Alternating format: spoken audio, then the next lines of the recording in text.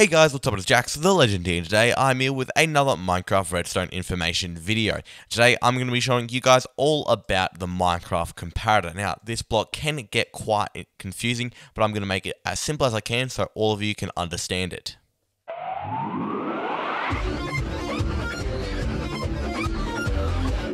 It's one of the most used blocks in Minecraft Redstone builds, especially when you get higher up in the complexity of them. Um, and ever since they've been added, they have become super useful. Redstoning would be so different without them. The comparator maintains, compares, subtracts, and measures the state of any sort of redstone current going into the back or the side of them. And a lot of the time, people get confused between the comparator, the one with three little red dots, and the repeater, the one with two. You can see the comparator is the green one here, and this is a bad one, the one that I just broke.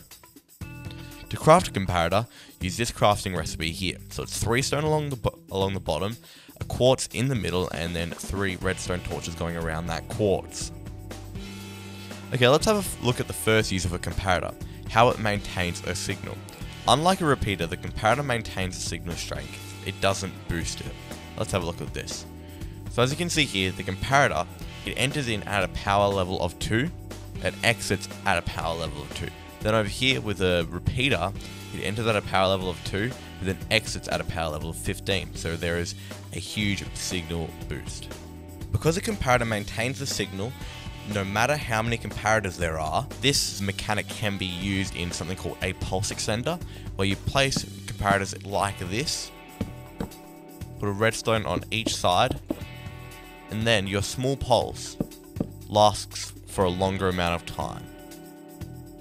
Now we're going to have a look at the next mechanic of a comparator, which is the comparison. So, it can the comparator can compare the strength from um, this, both the rear and the side on either side. If the signal strength on either side is greater than the one at the back, it will turn this current off. So for example, this right here, the signal isn't being turned off because both of these um, signal strengths are the same. But over here, if I place a redstone torch here, this signal strength is clearly stronger than this one, so the redstone lamp gets turned off. So this comparison mode is almost always active unless you right click it to turn it into subtraction mode. So let's have a look at subtraction mode. Pressing the button, like I said, will turn it into subtraction. Boop, boop, boop, you may have done this if you have ever made a repeater clock which is a clock that is often used in a dropper system. Subtraction is similar to the comparison, except it minuses the high of either side signals from the output. So if we head back here, we have a signal of 15 going into the back of the comparator, and if I place a redstone torch here, we have a signal of 13 going into the side. So that means it's going to do 15 minus 13, which will give us a signal of 2. So if the input signal is 10, that's the signal that is going into the back of the comparator. And the two side signals are 2 and 5. It'll choose the highest one, which is on, as you can see on the sign here, the right one, 5. And then do 10 minus 5, and then give us an output of 5. So on my automatic chicken cooker and feather farm, we have a comparator turned on to subtraction mode, as you can see, because the little light is on. This is also detecting out of this dispenser. What it is used for is when some items, say some just some grass blocks for example, go into this dispenser, it powers itself into the side, but turning itself off, and then it will turn itself back on again. This creates an infinite loop that will power on and off this dispenser, dispensing the blocks forever, until they run out. Now, the only way to put redstone into the back into the sides of these comparators is using these blocks. So you can use another comparator, a repeater, some redstone dust connected to like a torch, a lever, observer, anything like that, or a redstone block. Anything else will not work. The comparator, like we said earlier, can also be used to measure the block state. It will treat a certain block, for example a chest, as a power source, with the output of the comparator being in proportion to the fullness of the container.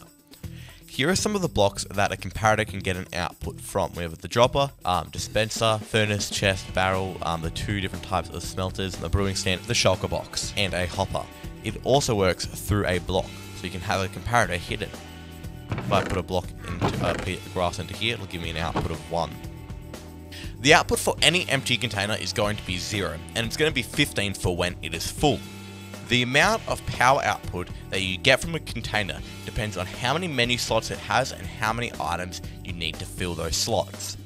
One of the simplest containers to showcase this is the brewing stand, as it has 5 slots and has a maximum of 15 power, meaning each slot must give off 3 power. So a hopper, like the brewing stand, has 5 slots. However, each of these 5 slots can hold up to a stack. So that means each of the a stack of item essentially becomes one fifth of the 15. So it gives off a 3 charge. Now here on my item sorter, you can see I'm using a comparator coming out of a hopper with some items in it to put out a signal. Now I've calculated how many items that need to be in this hopper for it to not reach this last piece of redstone here. But as soon as one extra item gets put into that hopper, it'll be the signal will extend over to there. So let's put a few items in just to give an example. As you can see, it has extended over to that piece of redstoning right there. For those who are interested, here is the uh, formula that you can use to calculate the output depending on the items.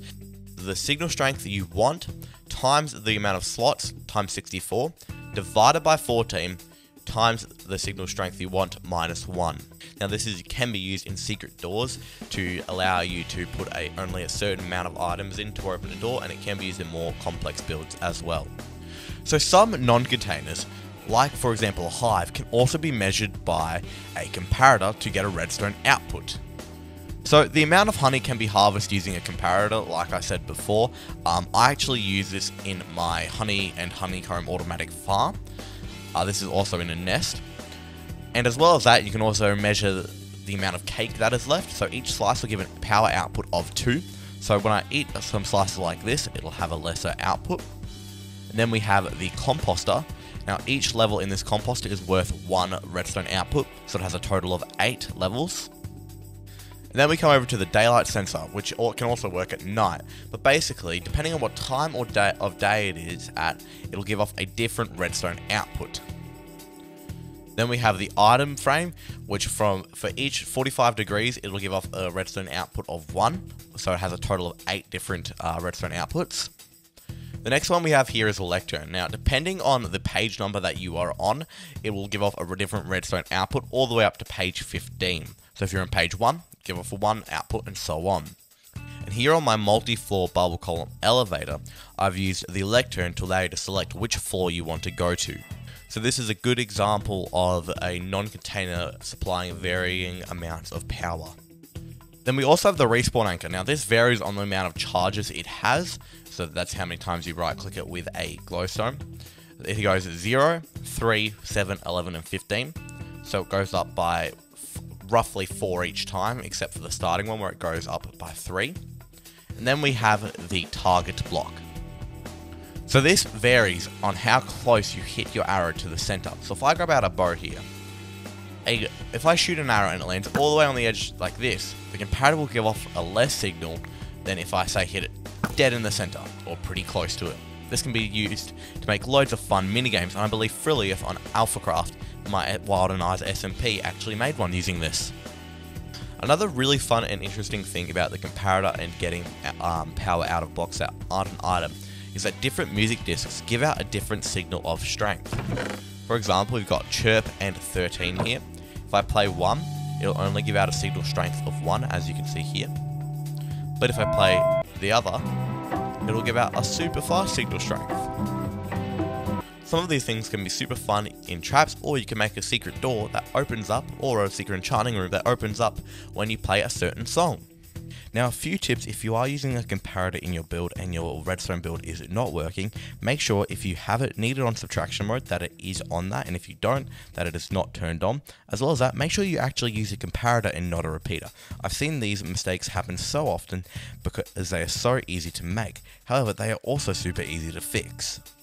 So now you guys know how to use and what the comparator does, so you have a better understanding of the Minecraft redstone builds that you build. So that's going to be the end of this video guys, I hope you guys enjoyed, please leave a like, comment and remember to subscribe if you're new, and I'll see you guys later. And remember, stay carbonated!